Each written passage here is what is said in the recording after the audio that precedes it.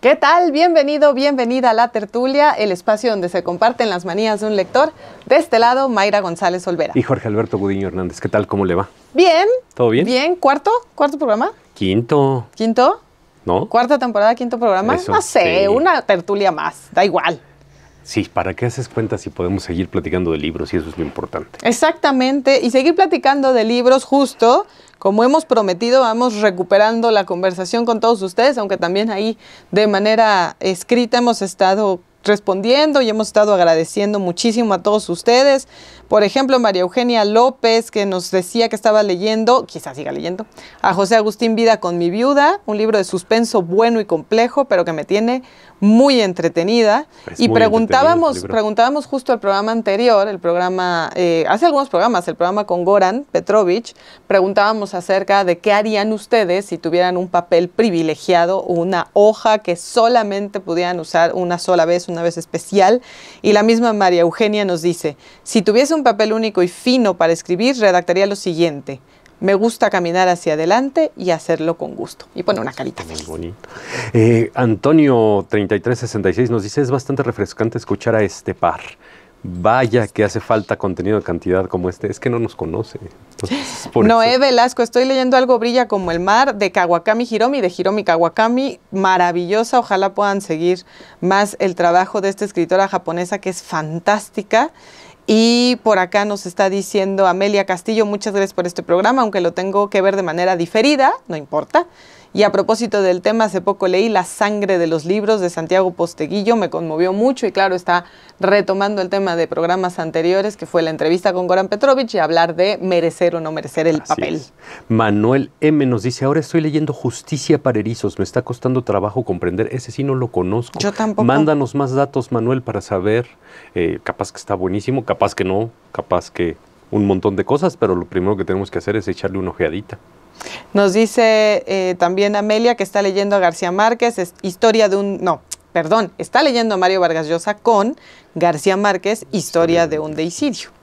Recién terminé de leer Cadáver Exquisito de Agustina Basterrica. Qué buen libro. Saludos desde Guadalajara, nos dice Lolu GDL 1446. Un gran libro, ¿no? La tuvimos aquí hace algunas temporadas. A mí es uno de los libros que más he recomendado. Junto, con Cadáver Exquisito me pasó lo mismo que con Tan Poca Vida, que o me amaban y me decían que era la persona más maravillosa por haber puesto ese libro sobre la mesa de su buró, o me detestaban y me miraban co- con un poco de, Ah, yo a mis alumnos de, a de veces, sospecha de a veces se los dejo y me preguntan, ¿pero por qué no los dejaste? Les digo, pues es un libro sabrosón. Es buenísimo. Sabrosón. Ana María del Carmen Madorram dice que nos manda saludos desde Puebla. Hasta Puebla también mandamos muchos, muchos abrazos. Y Lía M. Alonso nos dice que extrañaba mucho este programa. Pues aquí estamos, aquí seguimos. Aquí seguimos y vamos a estar conversando con ustedes tertulia a tertulia y el día de hoy ya van a ver que vamos a tener un programa que les va a encantar. Vamos a hablar de dobles de cuento. ¿Qué será eso? Pues arranquemos con la tertulia.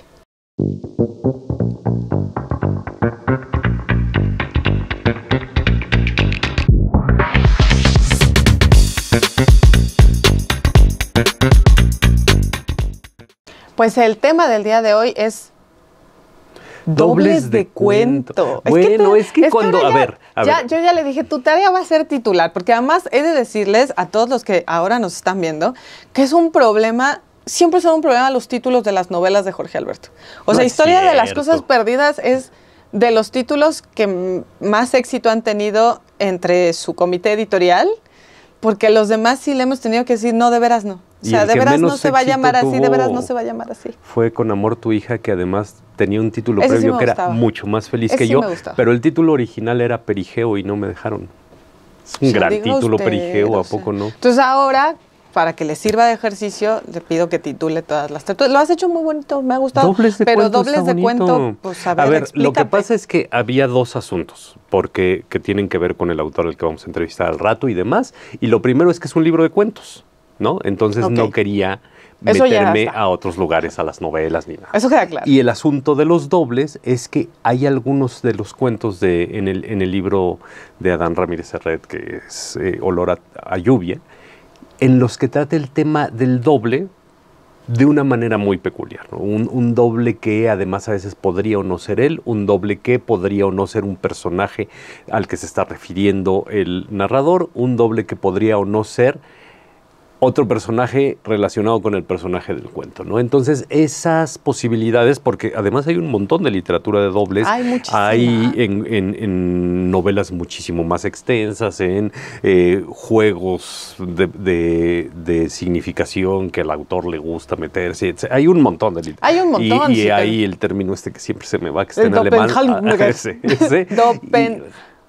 Tú puedes, bueno, no va a poder. Eh, existe la palabra socias en español no, y demás, sí, sí puedo, pero en sí realidad puedo. el asunto Bueno, es no que puedo.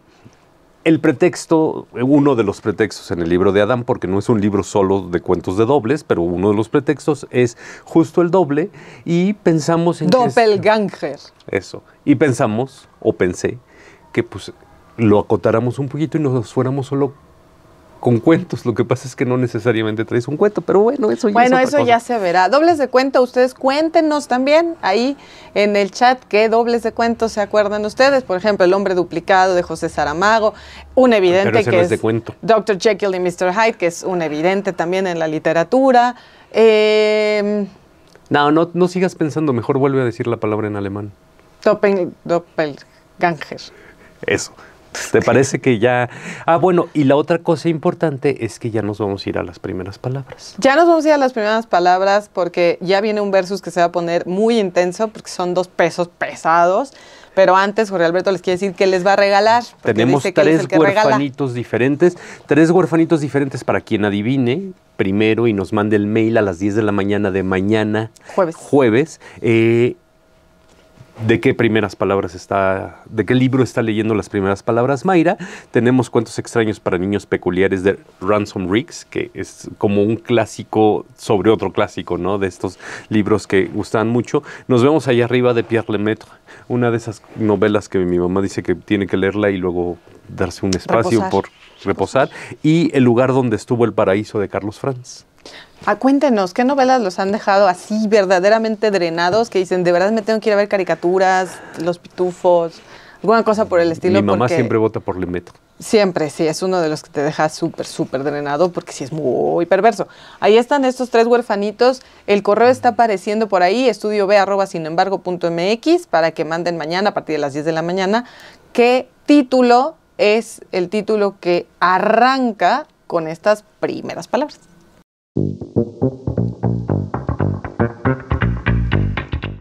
Quiero dar una pista para las primeras Ay, tus palabras que va a decir. Mayra. O sea, tú- Dada- yo lo leí cuando No, una no, mañana en que estaba tomando no, un jugo de naranja. Dada la incapacidad de Mayra de decir, Dopen, dop- debo decir que el libro que, del, que va a leer, del que va a leer Mayra justo ahora fue escrito originalmente en alemán. Doppelganger. Que además yo, o sea, regreso a la palabra como si leyéndola, Sí, entonces ya ya, se garantizada dice. que lo estoy diciendo bien. Pero bueno, al menos no le estoy poniendo una N donde no va. Bueno, el libro que vas a... Ah, del- sí. Fue escrito en alemán originalmente. Introducción. Para contar mi historia he de empezar muy atrás. Si me fuera posible, debería retroceder aún mucho más hasta los primeros años de mi infancia, e incluso más allá en la lejanía de mi ascendencia. Los poetas cuando escriben novelas suelen hacer como si fuesen Dios mismo y pudieran abarcar con su mirada toda una historia humana. Comprenderla y exponerla como si Dios mismo la relatase, sin velo ninguno, revelando en todo momento su más íntima esencia. Yo no puedo hacerlo así como tampoco los poetas, pero mi historia me es más importante y es la historia de un hombre, no la de un hombre inventado, posible o inexistente en cualquier otra forma, sino la de un hombre real, único y vivo. Hoy se sabe menos que nunca lo que es eso, lo que es un hombre realmente vivo, y se lleva a morir bajo el fuego a millares de hombres, cada uno de los cuales es un ensayo único, precioso de la naturaleza. Si no fuéramos algo más que individuos aislados, si cada uno de nosotros pudiese realmente ser borrado por completo del mundo por una bala de fusil, no tendría ya sentido alguno relatar historias. Pero cada uno de los hombres no es tan solo el mismo. Es también el punto único, particularismo, particularismo dice sí, importante siempre y singular, en el que se cruzan los fenómenos del mundo. Solo una vez de aquel modo y nunca más. Ahí están las primeras palabras, que además al margen y sí, de... lo leí de adolescente una tarde. pues. Al margen de tener un pretexto, una dinámica ahí simpática para que ustedes puedan adoptar uno de los tres huerfanitos, también la idea es que capaz que se les antoja por el arranque y van después a buscar esa novela y pues trabajo hecho en la tertulia. Eso está muy bien. Labor completa. El asunto de recomendar libros. Pero ahora vaya usted picándole a Tim Jorge Alberto, que ya vamos al versus. Versus.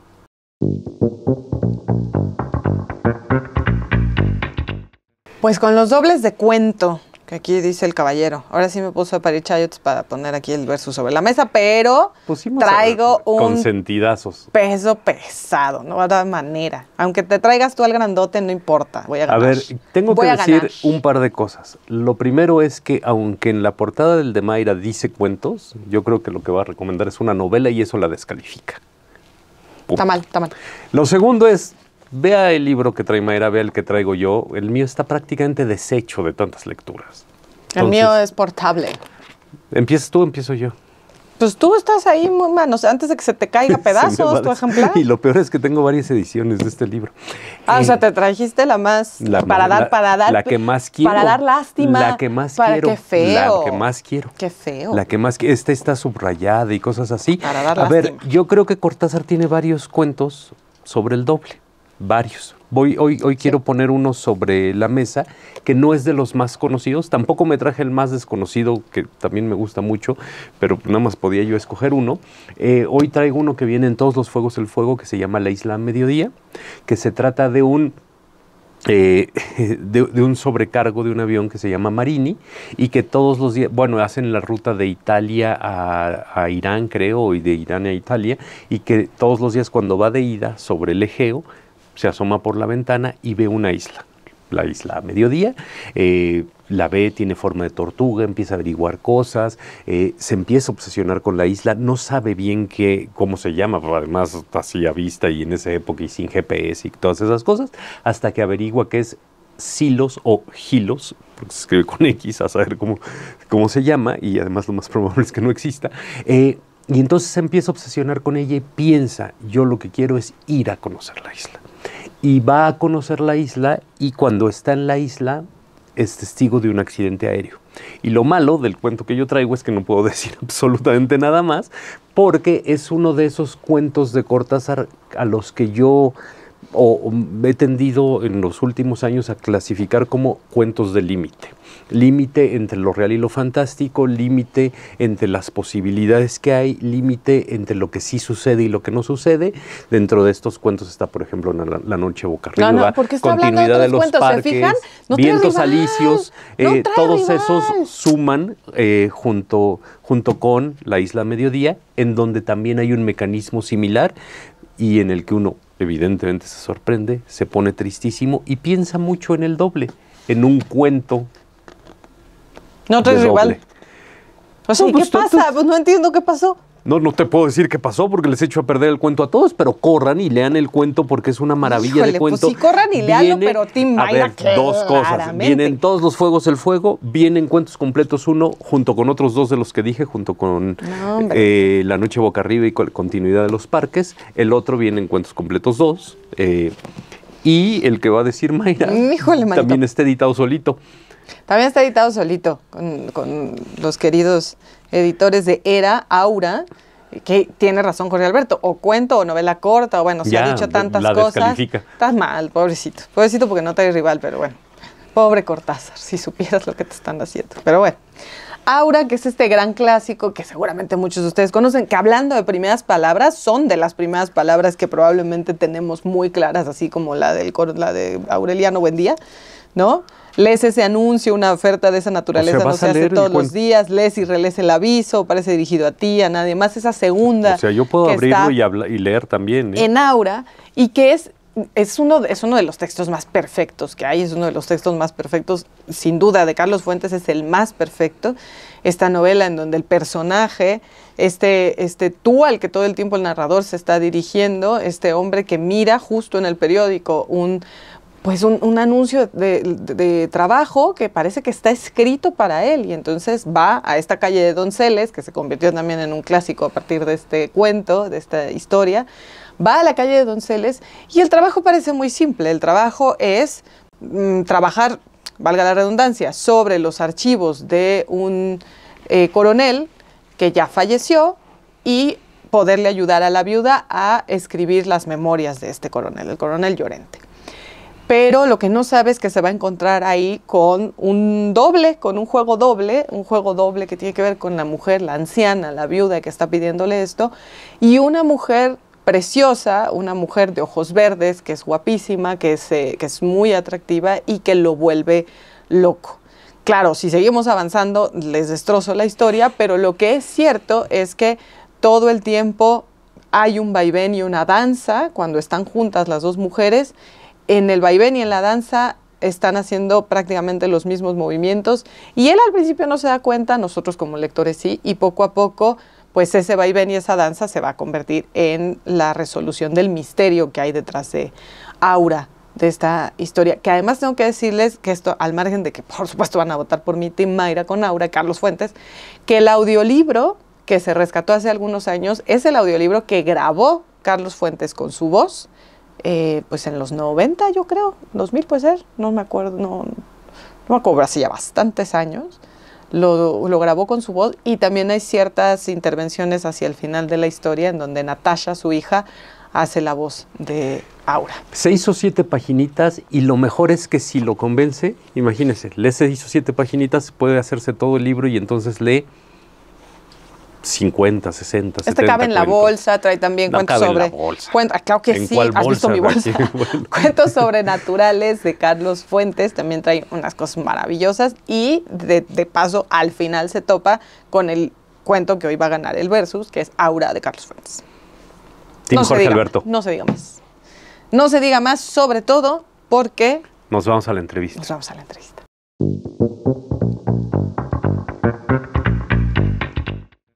Está con nosotros Adán Ramírez Serret, que ustedes o ya lo escucharon con la querida y admirada Denise Merker, o con Pamela Cerdeira, o con el querido Leo Zuckerman, que haciendo, pues hablando de libros. Criticando libros en el mejor de los sentidos, reseñando libros, o quizá ustedes ya formaron parte de algún club de lectura o algún taller en el que nos habla, por ejemplo, en los más recientes de un personaje ahí menor como Roberto Bolaño y su literatura, ahí nos da una, pues una entradota y le podemos dar el golpe a un escritor tan maravilloso como este chileno. Pero ustedes no saben, y él también nos va a contar, que Adán Ramírez Serreta además ha hecho cantidad de cosas relacionadas con los libros. Bueno, editor, Has sido librero, eh, has, cargado caja. Ah, no. Ah, sí, he, cambiado, he, ayudado en mudanzas de editoriales. Eh, mi primer o sea, trabajo. Pues si nos mudamos. es claro, por favor. No ayudo mucho, pero los divierto bastante. que eso puede, podemos hablar. Mira, este libro es maravilloso. Adán, tienes que moverlo, no hablar de él. de mudarse en un día. Sí, hay 14 días. Empecé como bibliotecario, fíjate, en el 2000 en la biblioteca de Francisco Toledo en Oaxaca, soy oaxaqueño. Entonces, ese me gustaba leer, digamos, un poquito más de lo normal, pero ahí en esta biblioteca entraba a las 9 de la mañana y salía a las 2.30 de la tarde. Y un día dije, si me dedico a leer todo el día, qué pasa? y así me convertí en alguien que se dedicaba como trabajo a leer. Y entonces, pues bueno, bibliotecario aquí en la Ciudad de México, fui librero también y he sido también mensajero en algún momento. Casi todo lo que tiene que ver con los libros me ha llamado por vocación, pero también porque se me ha atravesado en la vida, entonces me encantan las dos vertientes. En la calle de acá atrás lo hablábamos la otra vez, compran papel viejo, entonces quizá en un eh. huequito que tengas puedes trabajar un rato. También, claro, porque además fíjate que de los fetiches que tengo muy fuertes es oler el papel. Me encanta el papel, los periódicos los extraño horrible, pero cualquier libro lo primero que hago cuando me lo dan es... Olerlo, que además dice yo, porque que no me dedico a leer libros y se dedica a leer libros, pero más lindo todavía se dedica a hablar de ellos. Entonces, eso es algo que a todos nos ha tocado. En algún momento, quizá en alguna presentación también han estado por ahí y Adán es quien da las palabras, quien, quien hace pedazos del libro en el, en, el sentido positivo, quien lo disecciona para todos ustedes, pero hoy vamos a hacerle la tortura a él, con olor a lluvia. Petricor. ¿No? Sí, Petricor con olor a lluvia, este libro de cuentos. No sé si quieres comentar algo antes de que arranquemos de lleno con la entrevista. Bueno, que, a ver, sí es un libro de cuentos, pero yo tengo ciertas sospechas. está dividido en tres partes, está dividido en tres partes más un prólogo, cosa extrañísima, pero de, eso también platicaremos un poco. Y que son cuentos casi todos protagonizados por un narrador en primera persona, casi todos, no todos, eh, que suceden en lugares que conocemos y que nos quedan cerca. Mucho sucede en la Ciudad de México, al sur, eh, somos sureños, entonces quizá nos identificamos más, y algunos otros suceden en Oaxaca. Y no quiero adelantar muchísimo porque, justo hay algunas preguntas que le, queremos hacer. Me parece. Bueno, empecemos por el prólogo. Un libro con prólogo un libro de cuentos con prólogo. De un autor vivo, pues. De un autor vivo, porque exacto. traíamos de Cortázar, trae prólogo, pero... claro, de Mario Vargas Llosa, nada más y nada menos. Fíjate, eh, lo que pasa es que es una editorial argentina, entonces en muchos sentidos dijeron cómo lo va a recibir de un autor, bueno, que no les va a decir mucho, no es que aquí tampoco sea tampoco tan, tan relevante, y me dijo, oye, si le hacemos un prólogo y además que eh, tenga un título que no sea uno de los cuentos, porque yo había pensado pues que fuera alguno de los cuentos, el título uno está formado así, pero me pareció una buena idea tener una introducción y pensé en un amigo que quiero mucho, un escritor que, admiro muchísimo, que es Gastón García Marinozzi. y, como a ella se le ocurrió, pues yo la verdad soy una persona que siempre digo que sí. Y me encantó que hiciera el prólogo Gastón. Creo que sí, es algo anormal, ¿no? O sea, no es, no es lo usual que dentro de un autor vivo que sea su primer libro, venga un prólogo. Normalmente es para una asimilación. Eh, creo que la, etimología, no sé si es una falsa etimología, pero me gusta, que es el pro, ¿no? que utilizan los abogados, abogados pro bono. Prólogos es sobre el, eh, a favor de logos, de lo que va a venir ahí, ¿no? El pararrayos que decía Borges. Y me gustó muchísimo lo que escribió Gastón. Y también pensé que, eh, que no tuviera el el, título de uno de los cuentos podía dimensionar más el sentido de una eh, un estilo, pues no sé si una poética, pero de un estilo o de una, un lugar, ¿no? Como una atmósfera. Y esa atmósfera, algo que me ha encantado como oaxaqueño, es la lluvia siempre. Oaxaca llueve poco, entonces cuando llueve es como un milagro. Es fiesta. Bueno, a ver, amigos de Gastón somos todos. Todos, y lectores de Gastón. Y lectores de Gastón. Ah, lo que yo decía justo ahora que estaba como presentando Lora Lluvia, es que, y también lo dice Gastón, por cierto, en el prólogo, podría ser un libro de cuentos, pero podría no ser un libro de cuentos, también podría ser otra cosa. ¿Qué opinas de eso?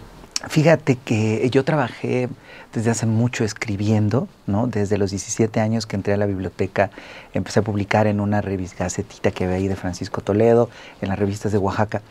Y algo que, que, encontré en Bolaño, no porque me compare con él, sino que vi que es algo que me gustó y a mí me sucede, es escribir durante buena parte de tu vida, un poco para destruirla, para hacer una parte inventada, para hacer una parte alternativa.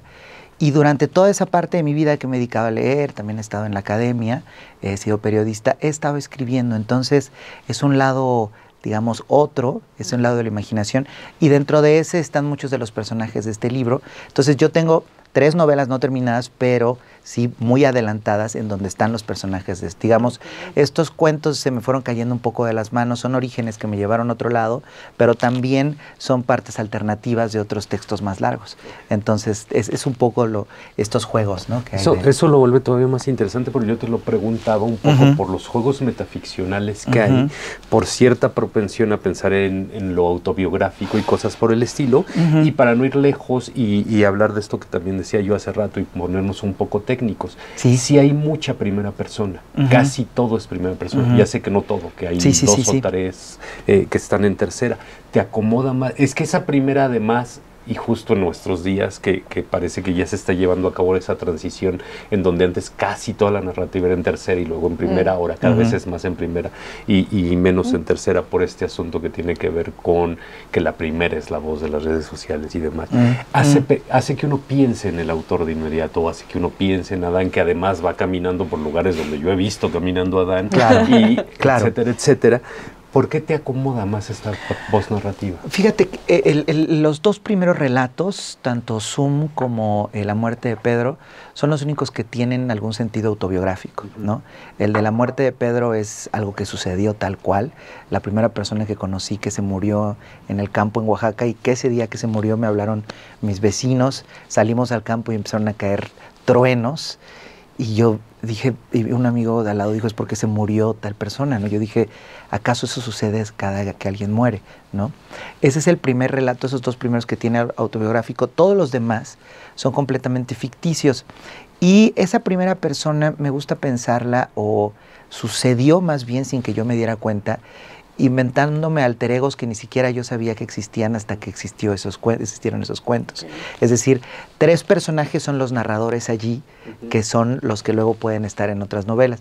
No se dice explícitamente qué son, pero hay sobre todo uno es eh, eh, un narrador en especial, digamos, uno es oaxaqueño, otro es chilango, son los que eh, se mueven allá adentro. Entonces, de alguna forma tuve que desplegarme yo después de vivir 16, 17 años en la Ciudad de México, pues ya también hay una nueva persona que es chilanga, ya no solo soy el oaxaqueño. Entonces, creo que es esta forma de, de desplegarte, de ser como otros tú que te ayuden a narrar historias que se te ocurrieron eh, por completo, que son plena imaginación, sin embargo son parte de ti, me parece, ¿no?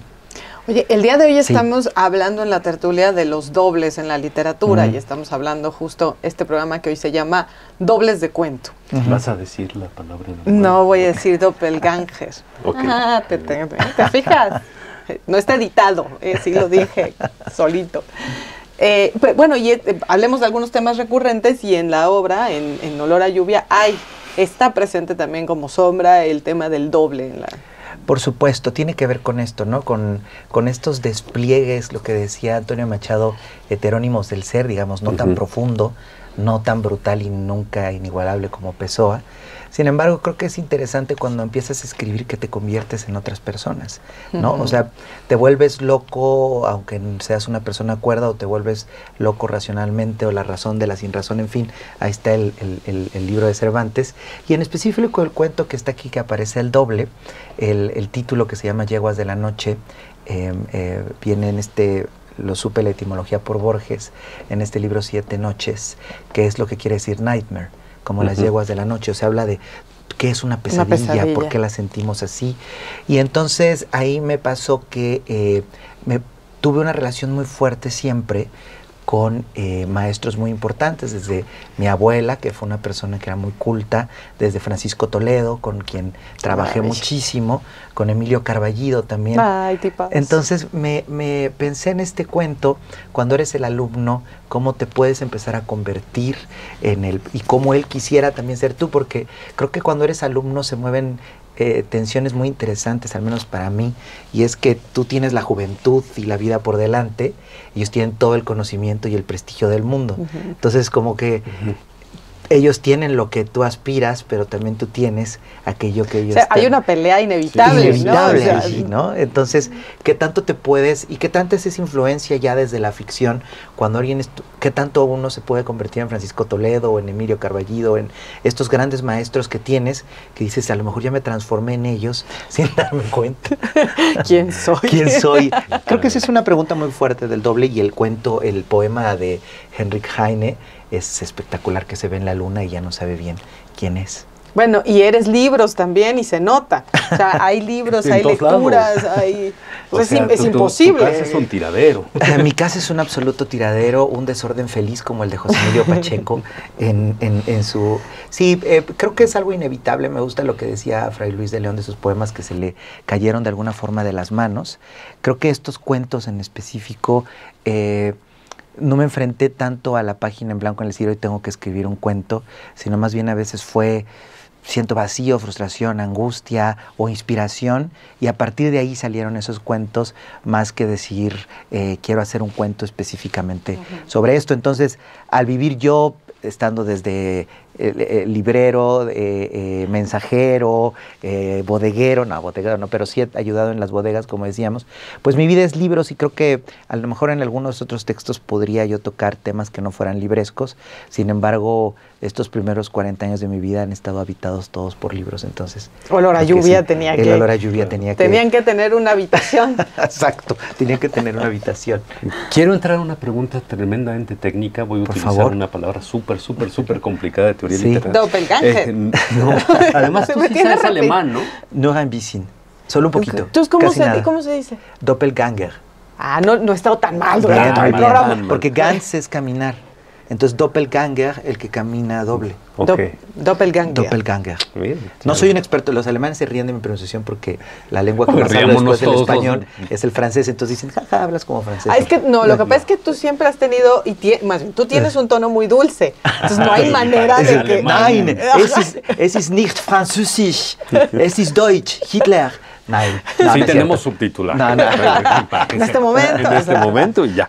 Eh, Ah, sí, la parte muy técnica. Pero quiero poner un antecedente porque a mí me sucede y no sé si me sucede porque también me dedico a los libros, si me sucede por algún defecto de personalidad que acepto como propio o si me sucede por pues porque uno escribe.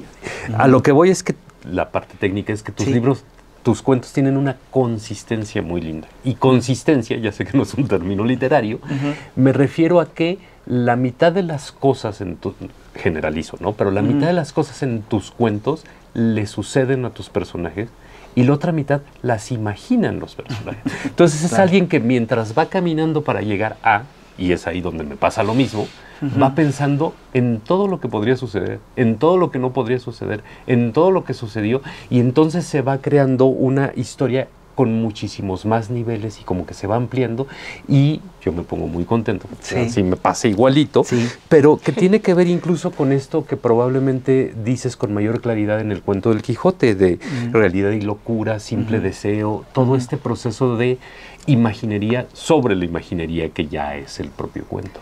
Claro, creo que lo que sucede de, las mayores virtudes de la lectura es que te hace tener un imaginario que es igual de real que el que está aquí enfrente, ¿no? Entonces, creo que gracias a eso no conoces el aburrimiento y es tan real lo que te puede suceder en un sueño, lo que te puede suceder imaginándolo o platicando con alguien, ¿no? De aquello que pudiste haber hecho o que quieres hacer, que lo que sucede puede parecer muy perdedor desde un punto de vista de Elon Musk, pero este, pero creo que esta, esta parte de tener un, universo interior es de las grandes riquezas que uno puede tener en la vida, ¿no? Creo yo.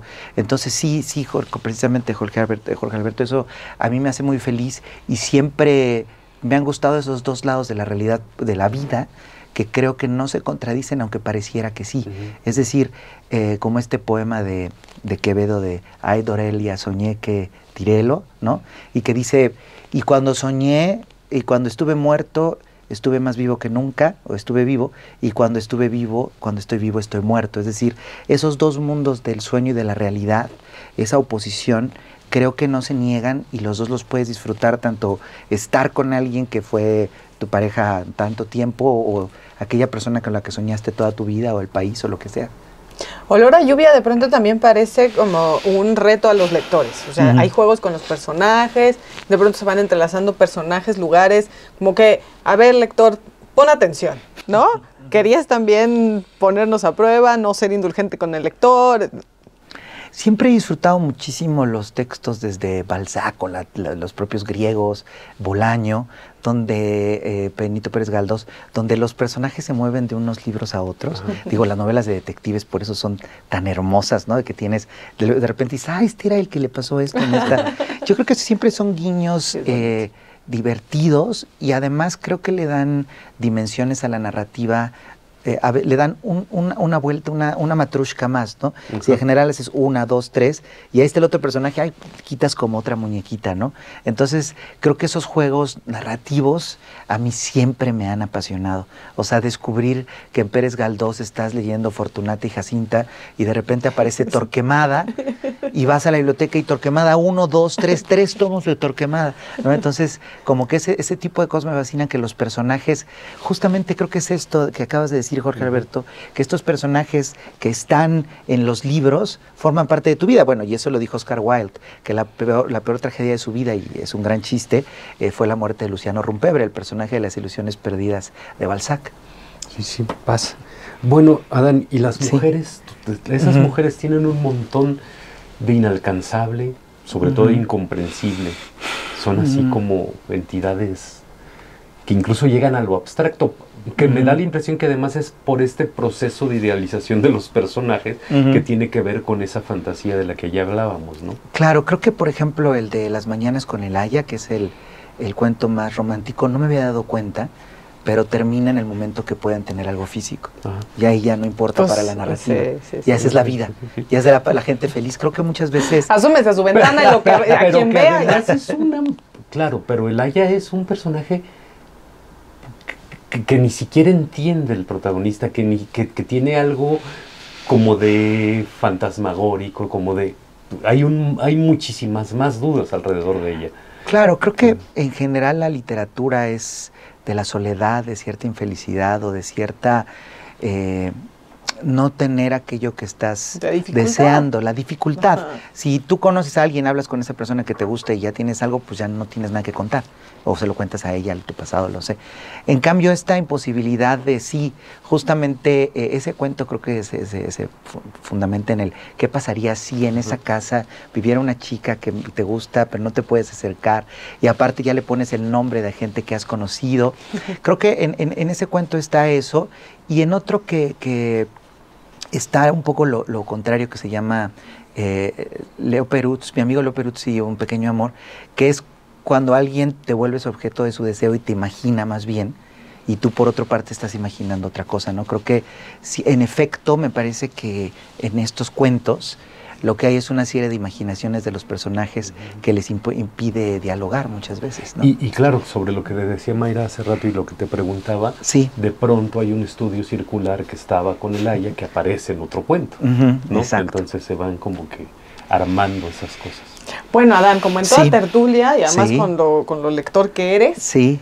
recomiendan los libros. Este, recomendemos qué será de esta, de esta. Para mí es muy complicado. Tengo que ver mi Twitter para ver qué he recomendado en los últimos. Pero qué les gustaría, como algo reciente o libros que me han marcado en la vida. Lo que tú recomendarías hoy. O sea, si alguien llega, oye, Dan, recomiéndame un libro para leer el próximo fin de semana. El próximo fin de semana. Eh, ahorita me estoy acordando de un libro que me encanta, un libro de cuentos de Bernhard Schlink, el autor de del el, lector. El lector, ajá que tiene una serie de cuentos, ahorita que hablábamos de la imposibilidad del amor, me vino a la mente, que se llama Mentiras de Verano.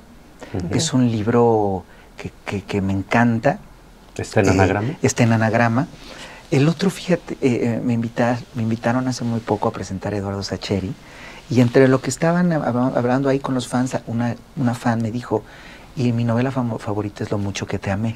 la mía también. Yo dije, chino, le he leído y no dormí una noche. ¿Ya le entraste? No dormí. Es fantástica. No dormí, no dormí. O sea, e, e, ese, ese, tipo de novelas de amor a mí me encantan. Además de que dices, no, ya le va a decir que lo diga, por favor, pero ¿qué va a pasar ahora? ¿Y qué es, qué es esto? Creo que es estas novelas para engancharte y para amarlas toda tu vida. Y eh, bueno, esos dos, ¿qué otro puede ser? Déjame pensar. Algo que he leído últimamente y me haya encantado. Eh, ay, perdóname por ser, es que pienso casi siempre en, las clases, en clásicos. Eh, además, no has contado tu formación. Ah, sí, bueno, yo eh, eh, hice mi licenciatura sobre Octavio Paz, sobre un texto que se llama El monogramático, que es, eh, sostengo ahí que puede ser la única, novela, por extraño que parezca, que escribió Paz con los relatos de, de Águila Sol. Y ahorita estoy terminando una tesis eh, donde veo el personaje Octavio Paz dentro de los detectives salvajes. Y estamos con un medievalista también, que lo diga. Y, también en la UAM eh, es una gran universidad donde ves muchísima literatura medieval, entonces te haces experto en el Cid, en la Celestina, en el libro de Buen Amor, que es una belleza. Bueno, esos libros hablando de recomendaciones, creo que es importante eh, ponerlos sobre la mesa, olvídense que se los pusieron en la escuela y un día acérquense al libro de buen amor eh, o a la Celestina, a la Celestina, eh, les, para que sí lo lean, les voy a decir que no dejen que sus papás vean que lo leen, no dejen, no dejen que vean jamás el verdad, el contenido que hay en ese libro, ocúltenlo, porque así, eh, o digan sus papás, La Celestina es un libro clásico español. Y, que no les digas de qué se trata. Una más, Adán. Sí, por favor. Aquí en la tertulia decimos que es el espacio donde se comparten las manías de un lector. Como lector, ¿cuáles son tus manías? Como lector, eh, leo en donde sea. En mi casa puedo leer en, el, la en una fuentecita que tengo, acostado, tengo una mesa en mi cuarto, tengo el estudio, leo en la sala, me salgo a leer en los cafés de al lado. Eh, como lector, el fetiche más fuerte, bueno, tengo dos. Eh, uno sería olerlos siempre los libros. Esos libros que huelo y amo no los, no los marco nada, pero cuando ah. trabajo con un libro sí lo marco todo. Porque le escribo todo y me fascina. Y no sé si les ha pasado, que a veces de las mejores líneas que luego no sirven para nada, pero que más disfrutaste, las escribiste a lo Mario Santiago Papasquiaro en los cantos del libro. Ya lo dices, ¿cómo disfruté esto? Ni le entiendo, y era pero según yo era maravilloso, pero bueno, eso puede ser. Ay, qué bonita conversación, qué gran libro Olor a Lluvia, para que, para que disfruten cuento también. Somos una, somos una tradición enorme de cuento. La literatura mexicana, la literatura en nuestro idioma, pero la literatura mexicana es una tradición enorme de cuento. Adán Ramírez En la tertulia. Muchísimas gracias. Gracias a ti, Mayra. Un placer, querido Jorge Alberto, querida Mayra. He sido muy feliz con ustedes y es un privilegio siempre verles y más platicar de los libros y agradecido infinitamente. Vamos a lo que sigue.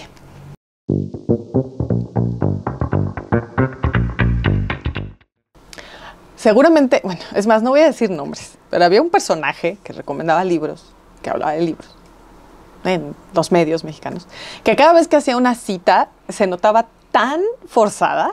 Sí, sí, sí. Tan forzada la como cita. esos autores. Es que soy un erudito y les voy a soplar ahorita todo lo que. A los que yo llamo enciclopedistas, que se ponen a buscar en el diccionario la palabra rimbombante. Y Adán es una cosa, Adán es así, es, como, es que Adán es como un juglar.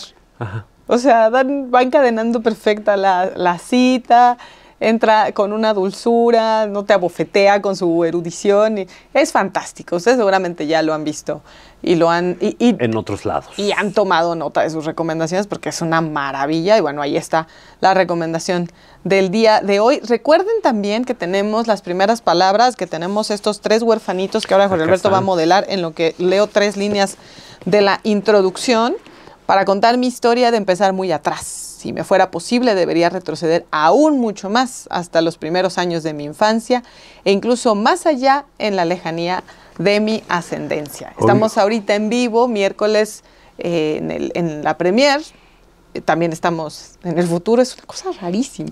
Pero bueno, mañana jueves a partir de las 10 de la mañana, hora Ciudad de México, ustedes pueden empezar a lanzar sus respuestas en el correo electrónico estudio b arroba sin embargo punto mx y los tres primeros pues se pues, llevaron uno de estos Oye, ahorita que los puse así para modelarlos, dice la novela en que se basa la película. Debe ser espantosa la tiene, película. Pierre tiene película, ¿no? no, pero de nos vemos ahí arriba. que, que okay. Yo creo que le bajaron bastantes rayitas, ¿eh? No creo que se hayan animado. Pero no, pero hay unas imágenes que uno se queda ahí. Que... No, quién sabe. Y el libro que trae ahora Jorge Alberto, el autor que trae ahora Jorge Alberto para este, esta sección de divulgación, es fantástico. A mí me encanta sus libros tiene, bueno, está el que va a comentar el día de hoy, pero también está El secreto de las palabras, creo que se llama, creo. Y es, es, es espectacular. Así que, Jorge Alberto, divúlgala.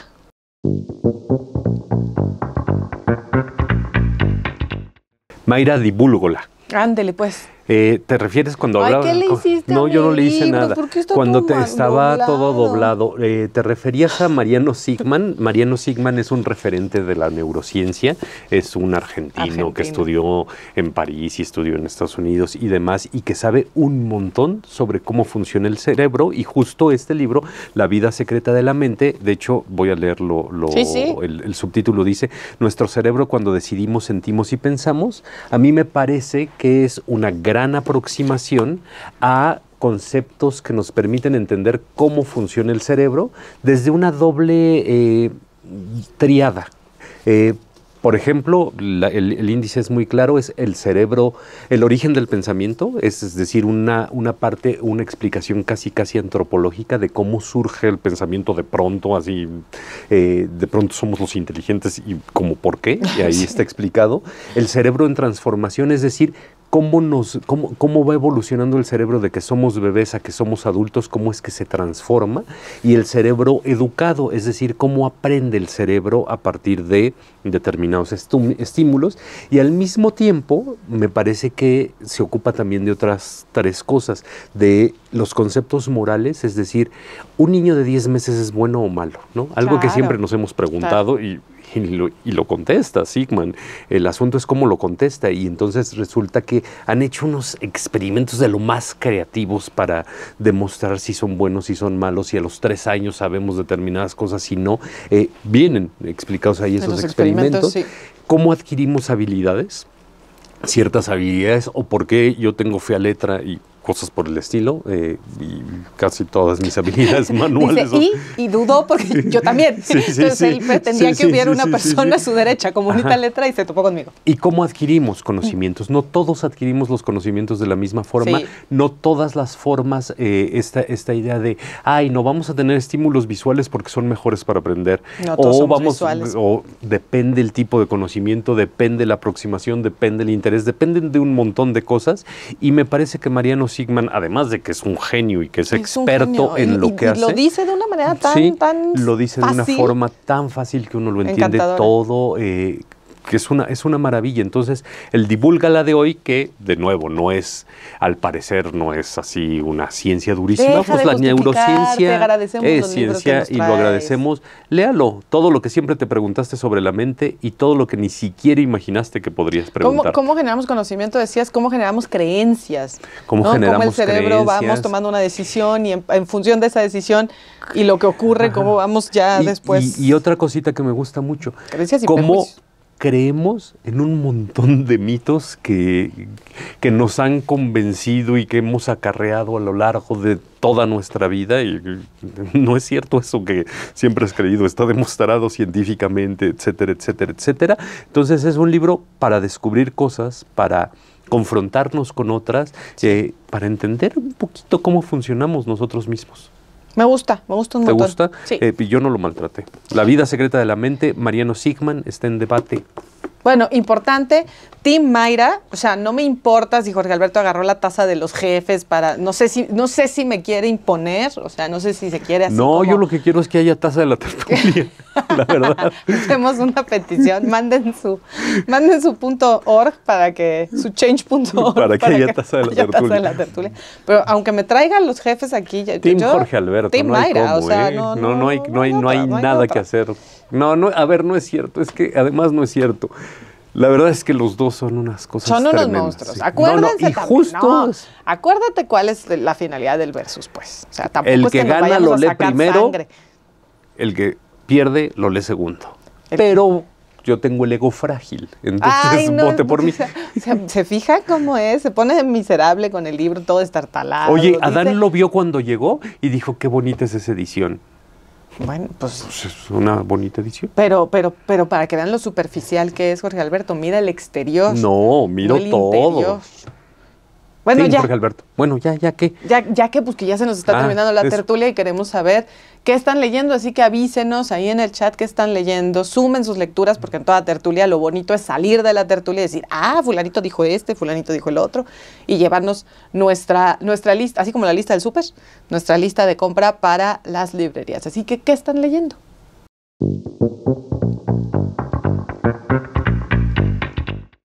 Llevo un ratote escuchando, hacer, llevaba ya un ratote en distintos festivales, escuchando acerca de esta novela, escuchando hablar a la autora, que es fantástica, que tiene como una voz muy dulce, pero de pronto estás así escuchándola con la voz dulce, dulce que tiene, y cuando ya te diste cuenta de lo que dijo, es como, wow, o sea, me acaba de dar una bofetada. Aroa Moreno, escritora española, con su novela La Bajamar. Y La Bajamar es al mismo tiempo una novela sobre maternidades, sobre distintas generaciones, hablando de la maternidad que les tocó vivir. Pero imaginen ustedes, está también, y es la otra parte, dentro de un contexto histórico, dentro de varios contextos históricos muy complejos. Entonces, lo que es la maternidad, pero cuando estás hablando de vivir en un pueblo en España durante la Guerra Civil Española, durante la posguerra, durante los ataques, durante el momento más álgido de los ataques de ETA. ¿Qué es lo que pasa con estas madres que tuvieron que dejar ir a sus hijos en barcos hacia en barcos de refugiados y quedarse a veces, además estas madres con muchos hijos y quedarse a veces con, el más débil, con el menor, con el que podía ayudarle, dependiendo cuál era el trance, y que los demás se fueran pues a tratar de, sobrevivir. ¿Qué es lo que hace una madre cuando em, de los primeros momentos en los que las bombas te mataban de miedo y pensabas que podía pasar cualquier cosa y cambiabas tu circunstancia, a cuando de pronto pues te encuentras ya con una normalidad que es pues bomba, pero, pero pues estamos aquí y tenemos que seguir adelante. Y hay una imagen muy poderosa también que tiene que ver y que, y que creo que más allá de la guerra civil en España, más allá del contexto en el que está escrita la novela de la Baja Mar, que tiene que ver con la zona en la que vive esta familia y en donde hay una ría, donde hay agua, y la primera imagen es uno de los niños de una familia numerosa que muere ahogado pero además muere ahogado y es tanto, por eso se llama la baja mar. Y el agua en algún momento está tan alta que no pueden rescatar el cuerpo. ¿Y qué es lo que pasa cuando la baja mar finalmente aparece el cuerpo? Esta imagen, la novela está llena de estas imágenes, está llena del diálogo generacional de la persona con nombre y apellido que está viviendo la historia que nos está contando Aroa Moreno, pero que al mismo tiempo, que es lo que ocurre con las novelas que, se, que se que nos cuentan una historia más grande también, estos personajes dentro de la historia con H mayúscula. Me encanta Aroa Moreno, me fascina. Bueno, lo primero que tengo que decir es que hay tres coincidencias entre el libro que está leyendo y el que yo estoy para, leyendo. para, porque van a pensar que lo tenemos Lo segundo es que no hay, no, esto no es parte del versus, pues, o sea, pasó. No, eh, a, uno a veces le pasa que está enfrente de su librero y dice, ¿y ahora qué leo? ¿No? A mí me pasa con mucha frecuencia. Y entonces yo ahí andaba. Es como el no tengo nada que ponerme. Y, y de pronto llegó Mayra no, es ¿Yo llegué? Llegó Mayra y me dijo, deberías leer a esta autora. Ah, sí. ah, pues me le echo, ¿no? Y entonces ahí además ni estaba en el librero, entonces era más fácil, no había que desacomodar nada. Y me dio el libro de Susana Martín Gijón, que se llama Progenie. Es la segunda coincidencia, la primera es que ninguno de los dos trajo el libro. Esa es la, segunda es, ahora que... leemos mucho de distintas maneras. Sí, Progenie de Susana Martín Gijón, que es una española, eh, que es una autora española, y es una novela, su nombre lo dice, Progenie, que trata un poco el asunto de la maternidad, lo trata de una manera muy peculiar, es una novela policíaca, es el inicio de una saga policíaca, eh, de, la saga del inspector Camino Vargas, en donde el primer cuerpo que se encuentra es una mujer asesinada, embarazada, que tiene un chupón. El segundo es una mujer em, asesinada, embarazada, que tiene un babero. Luego, una mujer embarazada, asesinada, que tiene un patito de, Ajá, ¿no? pues ya, no, no, no seguiré con ello. Pues no, no, no. además lo estoy leyendo, no lo he acabado, entonces quiero saber qué pasa, pero poco a poco se van descubriendo las pistas. Evidentemente al principio no se sabe que todas están embarazadas, se descubre que están embarazadas. Lo más evidente es pues esta firma del asesino que tiene que ver con objetos muy infantiles, muy de bebé. Eh, y poco a poco pues habrá que eh, involucrar en la investigación a una clínica de fecundidad, a una clínica que tiene que ver con ayuda para que las mujeres embaracen y todo se va centrando en eso. Y sí, lo que decías, qué perverso, ¿no? Qué perversa esta idea de que poco a poco, y me parece que ahorita estamos en el boom de la, la el policíaco español que vino después del policíaco pero parece que estos le están echando ganas a ver quién se pone más, más, oscuro, más rudo, más gráfico, más, eh, pues más tirando. Más creativo. Más creativo en ese sentido. Yo estoy leyendo Progenie, que es el primero, pero muy probablemente me siga, eh, me, siga y luego ya se me antojó leer Bajamar, que no lo he leído, entonces... Así es nuestra vida, a, ver qué pasa, ¿no? Eh, pero pues ahí está lo que estamos leyendo. Ahí está lo que estamos leyendo, la tertulia se está acabando. Recuerden que estamos acá en Estudio B, el nuevo canal de Sin embargo al aire. Pasen la voz, compartan el link, regálenos sus likes para que podamos... Suscríbase. Suscríbase, por supuesto, para que podamos llegar a más y más y más lectores. Y lo mismo con los programas de nuestros compañeros también, para que Estudio B crezca y, que todos tengamos nuestra tasa. Y todos tengan... Ese es el objetivo de Jorge Alberto al final de la temporada. Veamos si lo logra o no lo logra. mientras tanto, vámonos con esa. No, pero no te vas triste tampoco. No, no, ah, yo me voy súper contento. O sea, no, no, no, sí con una frustración arrastras, no, no, nada. Ah, bueno, Entonces, Tim Mayra, que es lo último con lo que nos queremos despedir, y, y pues ya, y allá, asómate allá, arriba. Nosotros somos Mayra y Jorge Alberto. Jorge Alberto y Mayra. Buenas, noches. noches.